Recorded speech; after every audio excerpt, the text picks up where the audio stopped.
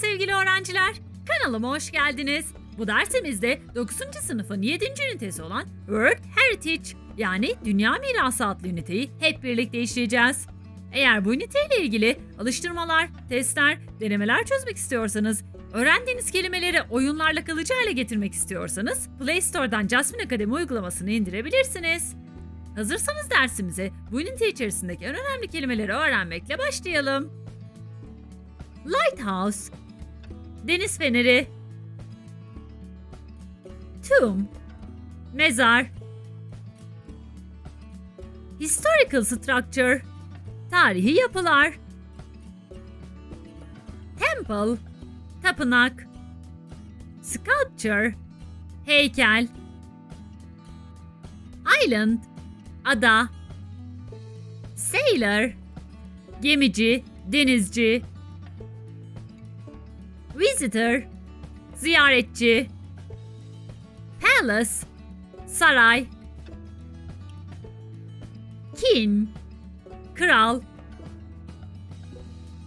Queen Kraliçe Jewelry Mücevher Place Location Yer Structure Yapı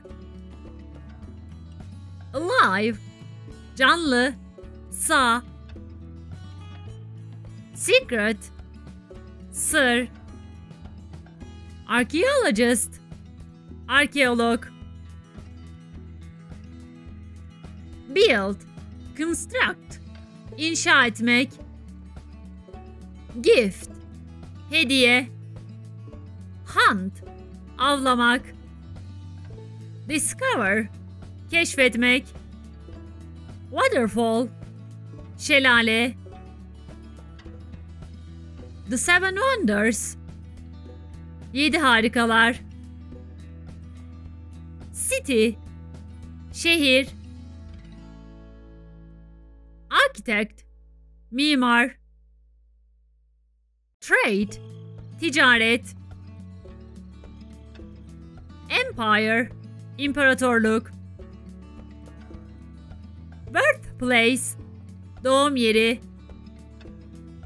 Castle. Kale. Stone. Taş. Live. Yaşamak. Homeland. Vatan. Anayurt Memory. Anı. Hafıza.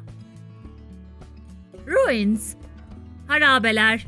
Kalıntılar Craftsman. Sanatkar. Destroy. Tahrip etmek, imha etmek. Fire. Ateş, ateşlemek. Volcano. Volkan. Earthquake. Deprem. War. Savaş Historian Tarihçi Travel Gezmek, seyahat etmek Steam train Buharlı tren Climb Tırmanmak Hill Tepe Wall Duvar Book. Rezervasyon yaptırmak. Pick somebody up. Birini bir yerden almak. Prefer. Tercih etmek. Protect. Korumak. Watchtower. Gözetleme kulesi. Staircase. Merdiven Anthem Marş. Army. Ordu. Bury Gömmek Church. Kilise. Mosque Cami. Enemy. Düşman. Gate. Kapı. Gold. Altın. Heritage. Miras. Invade, işgal etmek. Marble, mermer. Throne, taht. Column, stone. Adjectives, sıfatlar demektir. Sıfatlar bir insanı, bir nesneyi tanımlamaya, anlatmaya yarayan kelime gruplarıdır. Bu ünite içerisinde öğrenmemiz gereken önemli sıfatlar şunlardır. Impress. Etkilemek, iz bırakmak. Cold. Soğuk. Crowded. Kalabalık. Quiet. Sessiz. Colorful. Renkli. Excite. Heyecan verici Warm. Ilık Breathtaking Nefes kesici. Legendary. Efsanevi.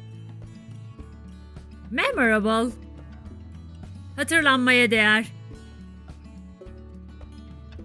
Skillful. Hünerli, becerikli. Huge. Kocaman, büyük. Ancient Antik. Human made Man made İnsan yapımı. Amazed Hayrete düşürülmüş, şaşırmış. Antik dünyanın yedi harikası. Antik zamanda bulunan yedi harikanın ilki The Great Pyramid. Büyük Piramit. İkinci eser The Hanging Gardens of Babylon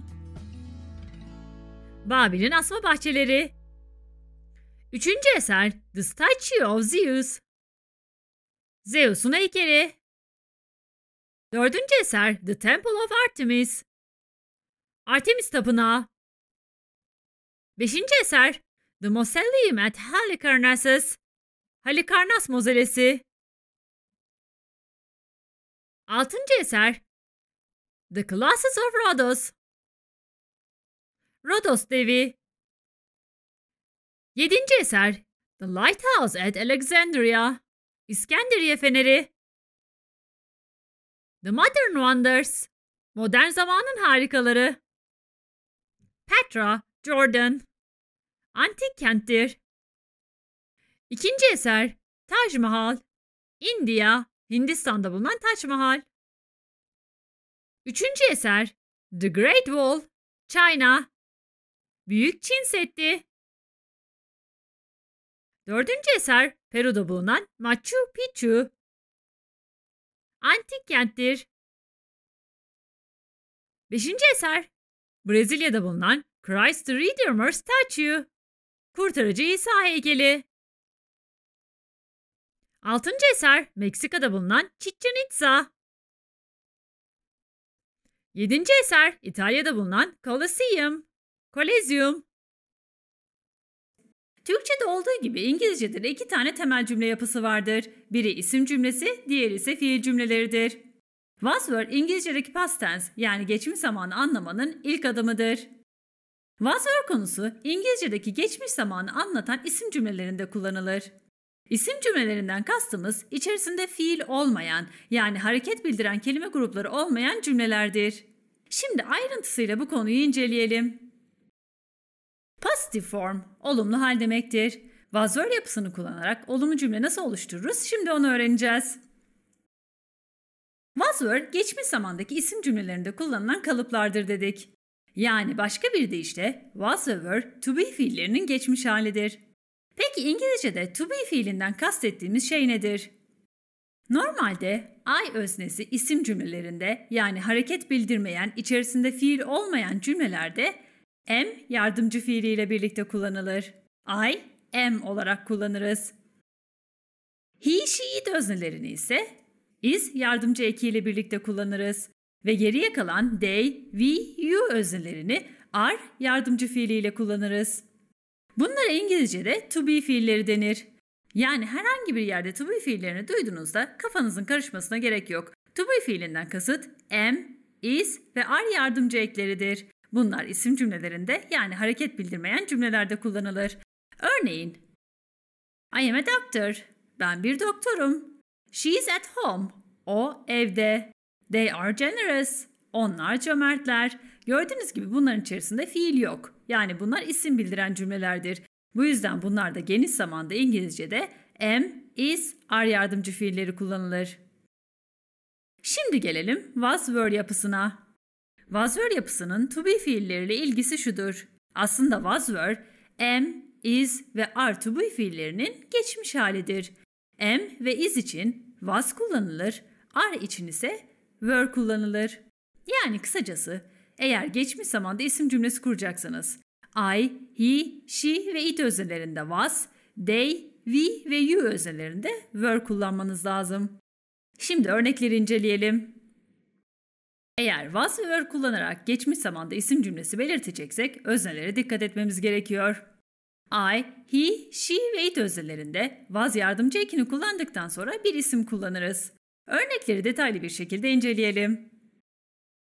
I was a nurse. Ben bir hemşireydim. I öznesinden sonra was yardımcı eki kullanılır ve bu cümle geçmiş zamanı belirtir. Ben geçmişte bir hemşireydim. He was hungry. O açtı. He öznesinden sonra was yardımcı eki kullanılır ve ardından bir isim kullanırız. She was tired. O kız yorgundu.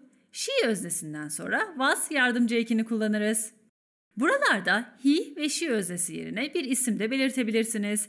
Yani burada Ayşe was tired. Ayşe yorgundu demeniz herhangi bir şey değiştirmeyecektir. She öznesi yerine isim de kullanabilirsiniz. It was sunny. O güneşliydi. Yani hava güneşliydi demek istiyor. It öznesinden sonra was yardımcı eki gelmiştir. Şimdi diğer özneleri göz atalım. They, we ve you öznesini kullanarak cümle oluşturacaksak eğer were yardımcı ekini kullanırız. Daha sonra bir tane isim kullanırız. Dikkat etmeniz gereken bir husus vardır. They onlar anlamına gelir ve çoğulluk bildiren bir öznedir. Bu yüzden çoğul eki almış kelime grupları da they yerine kullanılabilir. Ayrıca ikiden fazla özneler ise yine they grubunu temsil eder. Mesela Ayşe ve Fatma gibi yine iki kişi yani çoğulluk bildirdiği için they öznesi için geçerli olan bütün kurallar bunlar için de geçerlidir. Örnekleri inceleyelim. They were in ocean. Onlar okyanustaydı. They öznesinden sonra were yardımcı eki kullanılır. We were happy. Biz mutluyduk. We öznesinden sonra were yardımcı eki kullanılır. You were handsome. Sen yakışıklıydın. You öznesinden sonra were yardımcı eki kullanılır. Gördüğünüz gibi bu bir isim cümlesidir. Yakışıklı bir isimdir. Geçmiş zamanda yakışıklıydın demek istiyor. Negative form. Olumsuz hal demektir. Eğer was öğrü kullanarak olumsuz cümle yapmak istiyorsak şu şekilde yapmalıyız. Özneler öğrü konusunda oldukça önemlidir demiştik. I, he, she ve it öznelerinden sonra wasn't yardımcı ekini kullanırız. Daha sonra yine bir isim belirtiriz. Wasn't'ı genelde kısa olarak kullanırlar ama uzun halini görmek istiyorsanız was not olarak parantez içerisinde belirttim. Örnekleri inceleyelim. I wasn't neat. Ben düzenli değildim. I öznesinden sonra wasn't negatiflik yardımcı eki kullanılır. He wasn't slim. O zayıf değildi. He öznesinden sonra negatif yapacaksak wasn't olarak yaparız. She wasn't sad. O üzgün değildi. She öznesinden sonra wasn't negatiflik eki gelir ardından bir isim belirtiriz. It wasn't fast. O hızlı değildi. It öznesinden sonra wasn't negatiflik eki kullanılır. Şimdi diğer öznelere göz atalım. They, we ve you öznelerinden sonra weren't yardımcı ekini kullandıktan sonra bir isim belirtiriz. Weren't'ın kısa hali genelde tercih edilir ama uzun hali parantez içerisinde belirtilmiştir. Were, not olarak da kullanabilirsiniz. Örnekleri inceleyelim. They weren't at home. Onlar evde değillerdi. They öznesinden sonra weren't yardımcı eki kullanılmış. At home, ev isim olarak belirtilmiştir. We weren't busy. Biz meşgul değildik. We öznesinden sonra weren't yardımcı eki kullanılmıştır. You weren't kind. Sen kibar değildin. You öznesinden sonra weren't yardımcı eki kullanılır. Question form soru hali demektir. Eğer was ve were'ü kullanarak soru sormak istiyorsak onu şu şekilde yapmalıyız. Yine öznelere dikkat etmemiz gerekiyor. Bu sefer was ve were'ü cümlenin en başında kullanırız. Was yazdıktan sonra was'da kullanılan özneler hangileriydi? I, he, she ve it özneleriydi. Özneleri de yazdıktan sonra bir isim belirtiriz ve sonuna soru işareti koyarız. Was'ı cümlenin en başına almamız, soru yapmamız için yeterlidir. Yani özneler ve was yer değiştirir. Örneğin, Was she hardworking? O kız çalışkan mı? Gördüğünüz gibi was ve özne yer değiştirdi. Was cümlenin en başında yer alır. Daha sonra özneyi kullanırız. Ardından bir isim kullandıktan sonra soru işaretini belirtiriz. Eğer buna cevap vermek istiyorsak bu bir evet ya da hayır sorusudur. Eğer cevabımız olumluysa yes, she was. Evet, öyle. Eğer cevabımız olumsuzsa no, she wasn't. Hayır, o öyle değil diye cevap verebilirsiniz. Diğer bir örneğe bakalım. Was it rainy yesterday? Dün hava yağmurlu muydu? Was cümlenin başına geldi. Ardından it öznesini kullandık. Eğer buna cevap vermek istiyorsak, olumlu cevap vereceksek yes, it was. Evet, öyleydi. Olumsuz cevap vereceksek no, it wasn't. Hayır, öyle değildi. Diğer öznelerimiz için bakalım. Bu sefer were yardımcı ekini en başta kullanırız. Were ile kullanılan özneler nelerdi? They, we ve you. Bunlardan sonra yine bir isim ve ardından soru işaretini kullanırız. Were they are in the supermarket? Onlar süpermarketin içinde miydi? Were yardımcı ekini kullandıktan sonra they öznesini kullanırız. Eğer buna cevap vermek istiyorsak, olumlu cevap vereceksek yes, they were. Evet, öyleydi. Ya da olumsuz cevap vereceksek no, they weren't. Hayır, öyle değildi. Were you bored? Sen sıkıldın mı? Gördüğünüz gibi were ve özne yer değiştirmiştir. Were yardımcı ekinden sonra you öznesini kullanarak bir soru oluşturduk. Eğer buna cevap vermek istiyorsak, olumsuz cevap vereceksek no I wasn't. Hayır ben sıkılmadım. Gördüğünüz gibi was ve were konusu oldukça basit bir konudur. Örnekleri iyice inceledikten sonra kavrayacağınıza eminim. Simple past tense yani geçmiş zamanı öğreneceğiz. Bu İngilizcenin en temel zamanlarından bir tanesidir. Simple past tense'i en basit ve en kolay şekilde anlatmaya çalışacağım. Hazırsanız başlıyoruz. Simple past tense'in kullanım alanları şu şekildedir. Geçmişte belirli bir zaman içerisinde başlamış ve artık sonlanmış olan eylemler ve durumlar için kullanılır. Yani yaptığınız eylem artık geçmiş zamanda kalmıştır. Yaptınız ve bitmiştir. Bir de geçmiş zaman, geçmişteki alışkanlıklarımızdan bahsederken kullandığımız bir zaman dilimidir. Geçmiş zamanla ilgili kullanım kurallarını birlikte inceleyelim. Öncelikle pozitif form yani olumlu cümle nasıl kurulur ona göz atacağız. Simple past tense'de fiilin yani hareket bildiren kelimenin ikinci hali kullanılır. Bir fiilin ikinci halinin iki tane temel kuralı vardır. Birincisi regular verbs denilen düzenli fiiller, ikincisi ise irregular verbs denilen düzensiz fiillerdir. Öncelikle regular verbs yani düzenli fiillerle yapılmış cümleleri öğreneceğiz. Regular verbs düzenli fiiller demektir. Rules kurallar anlamına gelir. Regular verbs yani düzenli fiil yapmanın kuralları şu şekildedir. İngilizce'de düzenli fiiller ikinci hallerine dönüştürebilmek için belli kurallara uymamız gerekiyor. Temel olarak bu fiillerin sonuna e ve d harfi eklenilir. Ama bazı istisnai durumlarda sadece d harfini ya da i, e ve d harflerini birlikte alırlar. Şimdi bunlarla ilgili örneklere bakalım. Bahsettiğimiz bu kuralları somutlaştırırsak aklınızda daha iyi kalacaktır. Örneğin snow, kar yağması anlamına gelen bir fiildir. Bunu eğer düzenli bir fiil yapacaksak sonuna e ve d harfini yazmamız yeterlidir. Fix, onarmak anlamına gelir. Yine bu fiilin sonuna e ve d harfini yazarak geçmiş zamanda düzenli bir fiil olarak kullanabiliriz. Need, ihtiyacı olmak anlamına gelir. Bu fiilin de sonuna yine e ve d harfini yazarak geçmiş zamanda kullanabiliriz. Ama eğer bir fiilin sonunda zaten e harfi varsa bu e harfini iki kere yazmamıza gerek yoktur. Sadece d harfini yazmamız yeterlidir. Örneğin place, yerleştirmek anlamına gelir. Gördüğünüz gibi zaten kökünde e harfi vardır. Bir daha ikinci kez e harfini yazmadan d harfini yazarız. Diğer bir kural ise eğer bir fiilin sonunda y harfi varsa bu y harfi düşer, i harfine dönüşür, daha sonra e ve d harfleri yazılır. Örneğin worry, endişelenmek anlamına gelir. Bu fiil y harfiyle bittiği için y harfi düşmüş, i yazıldıktan sonra e ve d harfleri yazılmıştır. Düzenli fiiller bu şekildedir. Eğer düzenli bir fiil kullanarak olumlu bir cümle yapmak istiyorsak öncelikle cümlemize bir özne ile başlamalıyız. İngilizce'de temel 7 tane özne vardır. I, we, you, they, he, she ve it öznelerinden bir tanesini kullandıktan sonra az önce bahsettiğimiz kuralları da dikkate alarak bir tane fiil yazarız. Ardından cümlenin gerisini yazmak istediğimiz nesneyi yazarız. Bu işin matematik kısmıdır. Bunu cümleler içerisinde inceleyelim. He moved to Italy two years ago. O iki yıl önce İtalya'ya taşındı. He erkek özdesini yazdıktan sonra move taşınmak fiilini yazdık. Sonunda e harfi olduğu için sadece d harfini yazdık. Böylece bunu geçmiş zamanda bir düzenli fiil haline getirdik. She danced at the party. O kız partide dans etti. She özdesini yazdıktan sonra dance, dans etmek fiilini yazdık. Zaten kökünde e harfi olduğu için sadece d harfi yazarak bunu geçmiş zaman haline dönüştürdük. He, she ve it özneleri yerinde isim de belirtebilirsiniz. Ayşe, Fatma, köpek, kedi gibi herhangi bir isim de belirtebilirsiniz. It snowed yesterday. Dün kar yağdı. It öznesinden sonra snow, kar yağmak fiiline e ve d harflerini ekleyerek geçmiş zamanda kullanılan düzenli bir fiil yaptık.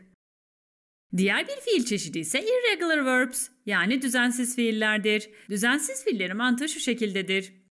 Ya fiil tamamen değişir ya da hiç değişmeden olduğu gibi kalır.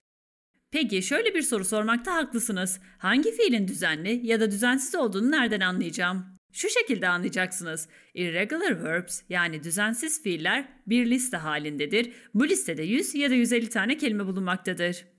Bu fiilleri ezberledikten sonra geriye kalan milyonlarca fiil düzenli fiildir.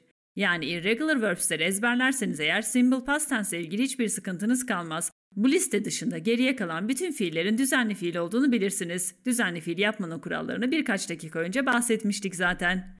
Ama bu listenin pdf'ini aşağıda açıklamalar kısmından bulabilirsiniz. Oradan indirip ezberlerseniz eğer işiniz oldukça kolay olacaktır. Videonun ilerleyen kısmında da bu fiilleri daha kolay, daha rahat şekilde nasıl ezberlersiniz onlara değinmeye çalışacağım.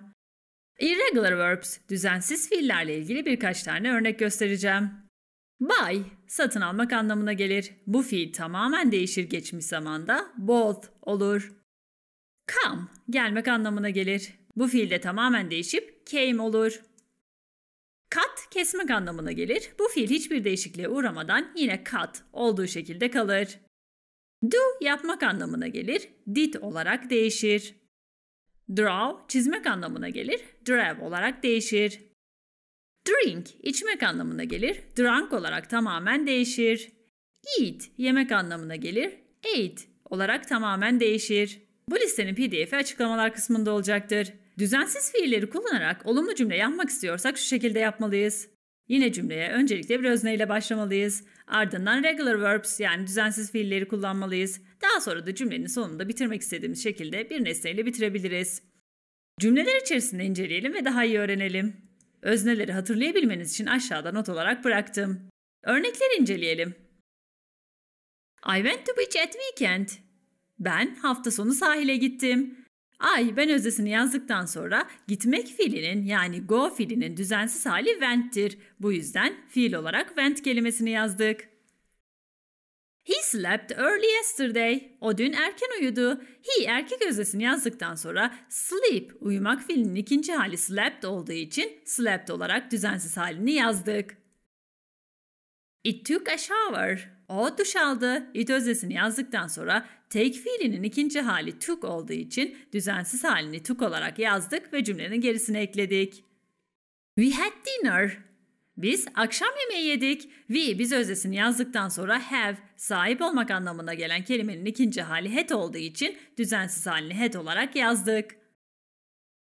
They swam in the ocean. Onlar okyanusta yüzdüler. They özdesinden sonra swim yüzmek kelimesinin düzensiz hali ikinci hali swam olduğu için onu swam olarak belirttik.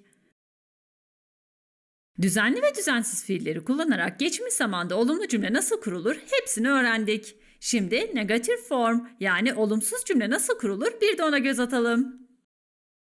Eğer negatif form yani olumsuz bir cümle kullanacaksak geçmiş zamanda yine her zamanki gibi cümleye bir özneyle başlıyoruz. Ardından didn't negatiflik ekini kullanıyoruz. Burası çok önemli. Didn't geçmiş zamanda bir cümleyi negatif yapar. Didn't yazdıktan sonra dikkat etmeniz gereken nokta ise şurasıdır. Fiil ister düzenli olsun, ister düzensiz olsun hiçbir şekilde fiile karışmıyoruz. Hiçbir ek eklemiyoruz, hiçbir şekilde değişikliğe uğratmıyoruz. Çünkü geçmiş zamanla ilgili sorulan asıl kısım burasıdır. Eğer negatif cümle kuracaksanız didn't kullanıyoruz ve didn't kullandıktan sonra fiile hiçbir şekilde düzenli olsun, düzensiz olsun karışmıyoruz.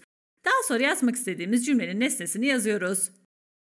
Özneleri sizin için tekrar belirtiyorum ve şimdi bunları cümle içerisinde kullanalım. She didn't walk. O yürümedi. She öznesini yazdıktan sonra didn't negatiflik ekini yazdık ve dikkat ederseniz walk yürümek fiiline hiç karışmadık. Olduğu haliyle kullandık. He didn't sleep. O uyumadı. He erkek öznesini belirttikten sonra didn't negatiflik eki kullandık ve sleep kelimesine hiç karışmadan olduğu gibi yazdık. They didn't fly.